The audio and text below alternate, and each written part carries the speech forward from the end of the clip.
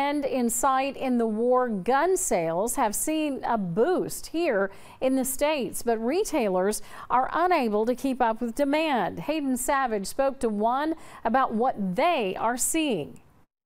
Yeah, hey, good evening. Guns like these here at Sportsman's Edge in Ash Flat are absolutely flying off the shelf, and they say it's a trend that could likely continue. They're buying AR-15s, they're buying handguns, uh, they buy a few self-defense type shotguns. Gun retailers across the country are very busy right now. What can we help you with? The recent war overseas has prompted multiple gun owners to increase their arsenal. That caused us to get really busy and we sold all of the AR-15s we had in one day a couple weeks ago. But it isn't just weapons that are hard to keep on the shelves right now, but also ammunition. This also affected the 5.56 ammunition and the 9 millimeter ammunition, which made it hard to get now, and of course the price went up on all of it a little bit. This is a Savage 110. Simers said it's been difficult at times getting certain firearms and the ammunition for them. And with the war in Israel continuing, he said it likely won't be getting any better anytime soon. I expect that it will get some worse. Uh, the price and availability of all the NATO rounds, that's like 9mm, 5.56, 7.62,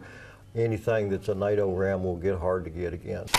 And Simers advice for gun owners if you're looking to purchase a particular type of firearm or ammo, now is the time to do it. I, I tell people if it's sitting on the rack and you think you want it, you probably better buy it because this has happened time and time again. I have a, a customer see something that he wants and he comes back too late, two days later and it's gone. In Ash Flat, Hayden Savage, K8 News.